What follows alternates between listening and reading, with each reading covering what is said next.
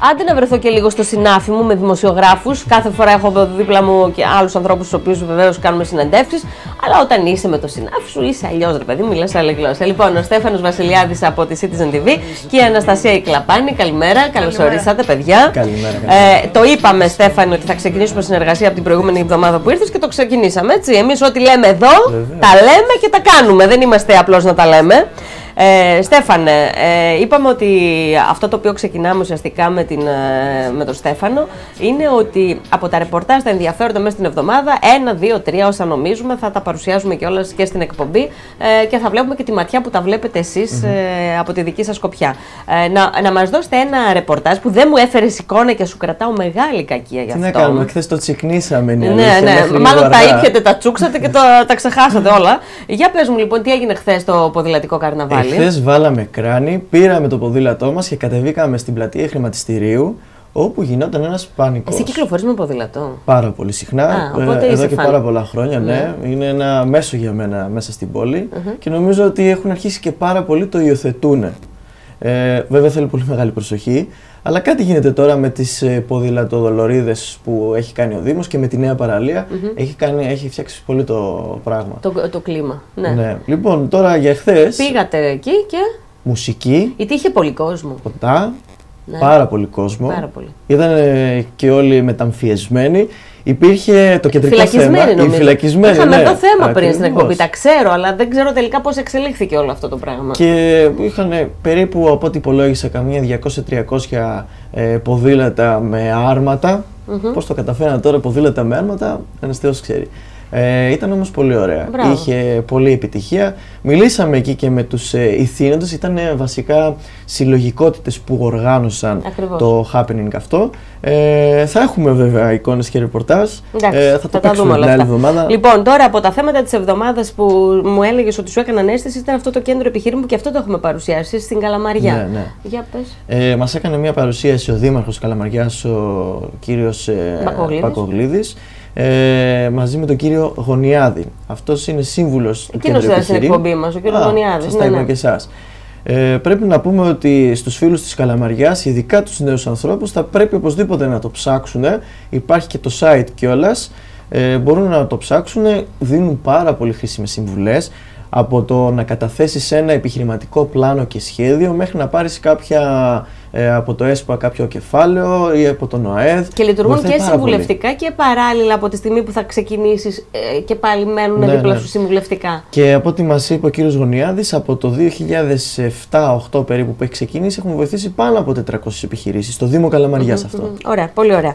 Πάμε τώρα στο κομμάτι της τέχνης, Στέφανε. Εδώ θα μας τα πει η Αναστασία, η οποία έκανε και το Δεν ρεπορτάζ. θες να πούμε πρώτα για το Ζήθο που ήμασταν κι εμείς; Α, βέβαια, ήσασταν και εσείς στο ζήθο. να Γιατί τα πούμε. πιάμε πάρα πολύ ωραίες μπύρες εκεί, Βεβαίως. φάγαμε Σου και τα- άρεσε η κερκυραϊκή μπύρα; Ε, Γιατί η πρώτη παρουσίαση, ο Ζήθος να πούμε για όσους δεν βλέπουν, ε, δεν έχουν δει την εκπομπή, ότι ξεκινάει μια πρωτοβουλία πολύ σημαντική μετά το Ζήθος ελληνικά που είχε ξεκινήσει ένα κατάλογο ελληνικών προϊόντων, τώρα στηρίζει τις ελληνικές μικροζυθοποιίες.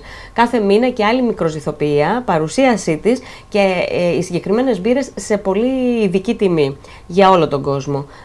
Ε, πρώτη παρουσίαση κερκυραϊκή. Και εκείνη τη βραδιά πρέπει να πω ότι όλοι έμειναν, ε, εσένα δεν σε είχα ρωτήσει νομίζω, αλλά όλοι έμειναν κατενθουσιασμένοι από τις κερκυραϊκές μπύρες. Τους άρεσαν Ήταν πάρα, πάρα, πολύ ωραίες, πάρα πολύ καλές και μπράβο του. Τώρα δεν θυμάμαι το όνομα του ιδιοκτήτη. Κάνανε Είναι πάρα η πολύ Δέσποινα η καλά. Μαυρομάτη, είναι ο Βασίλης του Τερζόπουλος Του- και της άλλα παιδιά Κερκυραϊκής βεβαίως. Ιστοποιίας. Ε, Το ναι, ο ενδιαφέρει. Σπύρος ο Καλούδης, ναι. Σπύρος ο Καλούτης, μπράβο.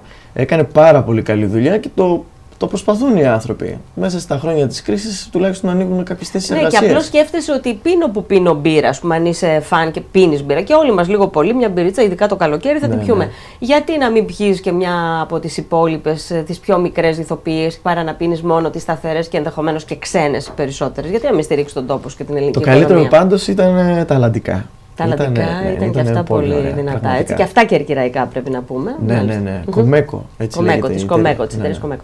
Λοιπόν, ε, πάμε τώρα στην ε, τέχνη λοιπόν και στο θέατρο που τα αγαπάμε πολύ. Αναστασία, εσύ είσαι δημοσιογράφος, έχεις σπουδάσει τη δημοσιογραφία ε, και τώρα μπαίνεις στα πράγματα από ό,τι καταλαβαίνω. Και τον τελευταίο ένα χρόνο. Τον ασχολούμαι. τελευταίο ένα χρόνο. Έχεις ε, αδυναμία στο πολιτιστικό ρεπορτάζ; Ε, κυρίως ναι, όσο Σου, επιτοπλίστων σου είναι αρέσει, πολύ. σου αρέσει. Ναι. Λοιπόν, ε, επομένως το γεγονός ότι πήρες, εσύ πήρες συνεντεύξεις από τον Καζά Καζάκο κλπ. Και τον πατέρα και τον ναι. γιο. Ναι, και τον κύριο Καρίδη και τον κύριο Μπογιόπουλο. Ναι, θα τα δούμε αυτά. Απλώς θέλω να ρωτήσω το εξής: Πώς αισθάνθηκες να είσαι απέναντι στον πατέρα Καζάκο, Γιατί κατά τα ψέματα είναι ένας ηθοποιός και ο Ντίνος Καρίδης, βέβαια, είναι πολύ σημαντικοί ηθοποιοί που έχουν γράψει ιστορία στο ελληνικό θέατρο. Ε, η αλήθεια είναι ότι υπήρχε μια μηχανία, mm-hmm. όπως και πάντα, ας πούμε, μέχρι και σήμερα προσπαθώ έτσι σιγά σιγά να το αποβάλω.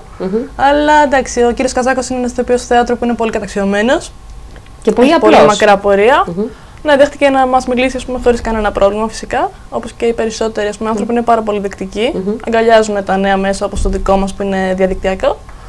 Και μας είπε πολύ ωραία πράγματα και για την παράση αλλά και για το σύνολο. Ωραία, θα τα συζητήσουμε. Να δούμε πρώτα τι συνεντεύξεις, ε, Αναστασία. Αν είναι εύκολο, παρακαλώ από το κοντρόλ να παρακολουθήσουμε τι είπανε για την παράσταση που είναι ανάκριση στο θέατρο Εγνατία, έτσι.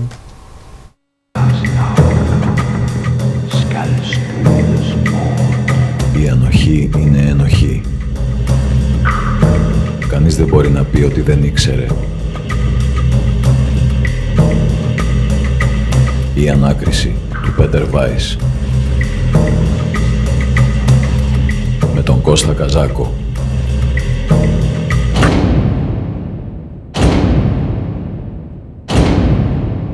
Κανείς δεν μπορεί να ισχυριστεί σήμερα ότι δεν ξέρει ή ότι δεν θυμάται. Καλησπέρα κύριε Καζάκο.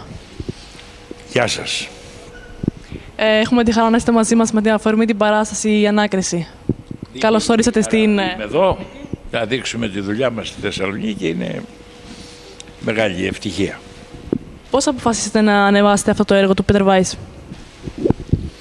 Ε, αυτό είναι ένα έργο που το είχα καιρό στο μυαλό μου και γιατί αυτά είναι ε, επίκαιρα έργα, μεγάλα έργα φτιαγμένα για όλες τις εποχές και είναι μαθήματα. Ε, και το, του Μπρέχτ τα έργα και του Πέτερ Βάις αυτά είναι σαν να γράφτηκαν τώρα για τη σημερινή πραγματικότητά μας αυτό που ζούμε αυτή την καταραμένη εποχή που περνάμε. Γιατί βοηθάνε να αφυπνιστεί η συνείδηση να ζωντανέψει η μνήμη να προσπαθούμε να μην ξαναπέφτουμε στα ίδια λάθη, στις ίδιες παγίδες που μας στείνει το σύστημα. Ο ρόλος μου λέγεται, να το, να το πω πώς τον λέω, Φράτς Χόφμαν. Είναι ο πρόεδρος του στρατοδικείου όπου καταδίκασε σε θάνατο χωρίς μάρτυρες, χωρίς δίκη, χωρίς τίποτα.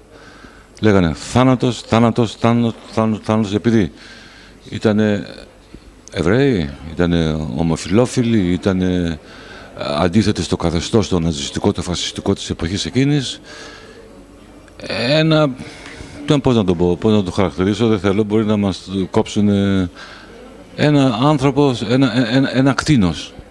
Ένα κτίνος. Δεν λέω ζώο, γιατί τα ζώα τα, τα αγαπάω. Ανεβάζουμε εδώ την ανάκριση του Πέτερ Βάις. Εγώ κάνω το Hans Stark, έναν άνθρωπο ο οποίος ήταν από τα 16 του στα SS. Είναι σπουδαγμένος φασίστας, κολεγίου, μετά ήταν καθηγητής. Είναι ένας άνθρωπος ο οποίος έχει σκοτώσει χιλιάδες και χωρίς κανένα πρόβλημα τους έβλεπε τους άλλους σαν σκουλίκια, δεν τους έβλεπε σαν ανθρώπους. Ε, και είναι πρώτη φορά που κάνω έναν υπαρκτό, ένα υπαρκτό πρόσωπο, δεν κάνω ένα ρόλο που τον βγάζω εγώ από το μυαλό μου. Ο άνθρωπος αυτός υπήρξε. Ε, είναι μεγάλη πρόκληση. Πολύ αντιπαθητικός άνθρωπος, αλλά πολύ γοητευτικός ρόλος. Και ε, είναι μεγάλη μου χαρά που μου δίνεται η ευκαιρία να κάνω κάτι τέτοιο. Πρόκειται για μια παρέμβαση δημοσιογραφική όταν πια κλείνει η παράσταση, όταν τελειώνει το έργο. Ο Βάης είχε την μεγαλοφυΐα γράφοντας το έργο να το κλείσει με έναν τρόπο που θα φαινόταν ε, ενδεχομένως και μετέωρος. Η ευφυΐα του Βάης συναντήθηκε με την ευφυΐα του Κώστα του Καζάκου, ο οποίος θεώρησε ότι αυτό το μετέωρο κλείσιμο πρέπει με κάποιο τρόπο να αγιωθεί, να αγιωθεί στο σήμερα. Και η δική μου συμβολή, στο βαθμό βέβαια που γίνεται, το πετυχαίνω αυτό, κινείται σε αυτή την κατεύθυνση. Τα υπόλοιπα θα τα δει ο θεατής φυσικά. Βλέποντας ο κόσμος και βιώνοντας, γιατί στο θέατρο δημιουργούνται βιώματα. Είναι σαν να τα έχει ζήσει αυτά που βλέπει. Μπορεί να ξεκαθαρίσει τι του συμβαίνει σήμερα και να πάρει μέτρα. Γιατί αν δεν πάρει μέτρα ο ίδιος ο λαός και δεν υπερασπιστεί τη ζωή του και το μέλλον των παιδιών του θα χαθούμε. Δεν θα αφήσουν τίποτα λίθον επί λίθου αυτοί. Είναι πόλεμος. Ολομέτωπος πόλεμος. Μάλιστα. Ε, Εμείς δεν το συζητάω, κουβεντιάζουμε εδώ πέρα. Τι σου έκανε εντύπωση από αυτά που άκουσες, από αυτούς που είδες, έτσι πώς σου μίλησαν; Ε, από αυτό που άκουσα, βασικά μου άρεσε πάρα πολύ αυτό με το ότι πώς γεννιέται βασικά ο φασισμός και πώς αντιμετωπίζεται. Γιατί είναι ένας. Είναι μια πολιτική και ιστορική ταινία, έτσι. Ναι, εννοείται φυσικά. Ε, ταινία λέω. Παράσταση. Θέατρο, παράσταση θεατρικό. Ε, το θέμα είναι ότι επειδή ο φασισμός δεν, έ- δεν έφυγε ποτέ ας πούμε, από το προσκήνιο, από την έννοια ότι υπήρχε και στο δεύτερο παγκόσμιο και το βιώνουμε και σήμερα, είναι πολύ σημαντικό να ξέρεις πώς να αντιμετωπίσεις αυτό το φαινόμενο. Το θέμα είναι ότι τι πρέπει να κάνεις, πρέπει να διαβάζεις, να θυμάσαι, να εκτιμάς την ιστορία. Είναι μια δύσκολη επιστήμη, μια απαιτητική, αλλά απαιτεί τη μνήμη σου και δεν ε, δικαιούσε να μην γνωρίζεις. Δεν Τα λέει δικαιούσε. αυτά γιατί την χάνει να είναι φοιτήτρια ιστορικού Α, αρχαιολογικού. επομένως, ναι. Ε, είναι βαριά παράσταση, δηλαδή είναι κάτι που θα πας και θα ψυχοπλακωθείς, είναι κάτι που θα πας και θα πρέπει να προβληματιστεί. Τι. Προσωπικά εγώ χθες πήγα και την είδα. Ναι, γιατί είπες ότι την Πέμπτη, είδες, βέβαια, ναι. Αλλά εντάξει. Ε, εμένα μου άρεσε πάρα πολύ. Είναι μια βαριά παράσταση, είναι αλήθεια αυτό. Όταν λέμε βαριά, βέβαια, ότι σε βάζει να σκεφτείς. Ναι. Σε βάζει και να με Αλλά δεν είναι αναπολύσεις κιόλας απαραίτητα λιγάκι. αυτό κακό λες. Νομίζω ότι αυτό είναι και η ουσία του θεάτρου. Να σε βάλει να προβληματιστείς. Και για την, αυτή τη συγκεκριμένη παράσταση, δύο σχόλια, αν μου επιτρέπεις. Ε, ότι επειδή αναφέρεται σε μια περίοδο το 1965 γράφτηκε το έργο και ήταν τότε η εποχή που γίνονταν οι δίκες. Ε, αν, δεν- αν θυμάμαι καλά, γινόταν στη Φραγκφούρτη και σε άλλες περιοχές της Γερμανίας. Και επειδή τότε αυτοί οι άνθρωποι είχαν πόστα, είχαν πολύ σημαντικά πόστα, οι φύλακες στο Auschwitz και σε όλα αυτά, το Birkenau και σε όλα αυτά τα στρατόπεδα. Και επειδή έπρεπε να αποδοθεί δικαιοσύνη, ωστόσο λόγω του ψυχρού πολέμου, γίνονταν κάποιες επίοικώ παράδεκτε κατά κάποιο τρόπο αποφάσεις των δικαστηρίων και αυτούς τους ανθρώπους αντί για ισόβια τους δίνανε δύο και τρία χρόνια φυλάκιση. Και κάτι ακόμα. Είναι, μέσα από αυτή την παράσταση φαίνεται πάρα πολύ καλά η- ο ρόλος που είχαν κάποιες επιχειρήσεις, γερμανικές κατά κύριο λόγο, Ως που συνήθως μέχρι και δηλαδή. σήμερα, πολυεθνικές, μέχρι και σήμερα κάνουν κουμάντο. Και με Δεν το θέλω να γεγονός- σκεφτώ για ποια μπορεί να μιλάμε κιόλας, μια πολύ συγκεκριμένη που Ε, μέχρι και. Πολλές, πολλές, Ναι, ναι, πραγματικά πολλές. Βασικά αναφέρονται τα ονόματα, ειδικά στο Ναι. τέλος που παρεμβαίνει ο κ. Μπογιόπουλος με τη δημοσιογραφική του ιδιότητα.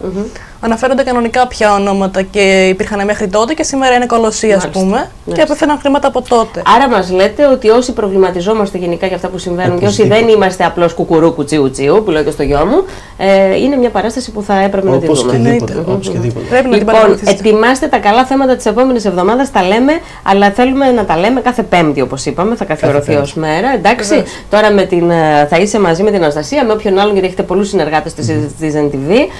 Ε, διαδικτυακά λοιπόν Citizen TV για να παρακολουθείτε όλα τα νέα ε, που αφορούν την πόλη, που αρα- αφορούν την περιφέρεια και από την πολύ καλή δουλειά που κάνουν εκεί όλα τα παιδιά και όλη η ομάδα. Ευχαριστώ πολύ, Στέφανε. Εγώ Ευχαριστώ σας πολύ, ευχαριστώ. Αναστασία. Να είστε καλά, ευχαριστούμε πολύ. Λοιπόν, πάμε να δούμε ποιος είναι μαζί μας αυτή την εκπομπή, γιατί η κάρτα υγείας ευκλε...